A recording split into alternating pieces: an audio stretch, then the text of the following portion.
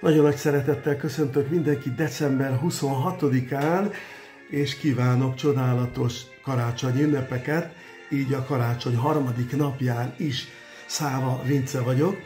Kedves mindenki, kedves barátaim, ismerősök, ismeretlenek, ugye sokan vagyunk úgy, hogy a Szent Karácsony ünnepét duplán ünnepeljük, annak éppen ekkor született.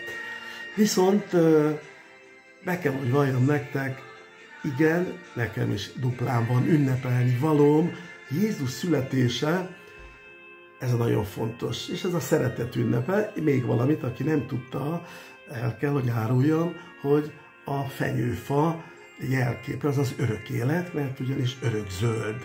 Ezt nemrég eh, a televízióból hallottam, én sem tudtam. Így eh, duplán örülök most már a fenyőfának minden év végén. Viszont annak is nagyon örülök, és a mindenható atyának meg kell, hogy köszönjem azt, hogy december 26-a volt az a jeles, csodálatos nap, amikor Istenhez megtértem, és ez kerek évezred 2000-ben volt. És ez nem Szent Szellem volt, ami engem feltöltött, hanem a mindenható atya volt, az, aki a hitét eh, belém öntötte óriási élmény volt. Akkor, amikor így az a bizonyos bizsergő érzés jött föl a testemen, még nem tudtam mi az, aztán amikor a fejem tetejére ért, akkor tudatosodott bennem, hogy ez a mindenható atyában való hitem, amit senki emberfia, de sátán sereg sem tudja elvenni. Ámen.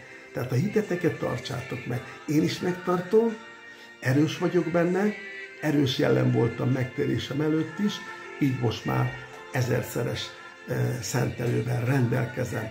Aki nem tért, meggondolkozzon el rajta, hogy hoz-e rosszat. Szerintem nem. Én tudom, hogy nem. Hoz-e jó?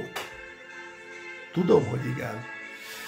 Érdemes elgondolkozni ezen a szent áldás legyen mindenkivel, az emberbaráti szeretetet gyakoroljátok, mert akkor, amikor vannak bizonyos pásztorok, vagy megtért emberek, és úgy gondolják, hogy elég az, hogyha a Bibliát hirdetik, kevés, mert a hit cselekedettek nélkül halott. Erre szoktam mondani, hogy azok az emberek, akik megtértek, és nem cselekszenek, azok igazából nem tértek meg. Cselekedjetek másokért. Egy jó szóval, egy jó tanácssal, ha nem használt ruhádat vagy bútorodat odadod, már cselekedtél. Ezek az Isten gyermekei. Erről a Biblia is írt, tehát nagyon fontos, hogy ne csak beszéljünk, hanem cselekedjünk. Szent áldás legyen mindenkivel, minden emberrel a világon. Ezt kívánom. Sziasztok!